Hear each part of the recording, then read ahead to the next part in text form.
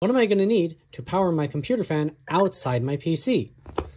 Well, I got this Cooler Guys uh, fan adapter power switch, which has uh, 12 volt power and 0.3 amps, and just the power leads. I have my Noctua um, power control knob, or fan speed control knob, and all these will connect to form a complete switch to allow me to control my fan speed.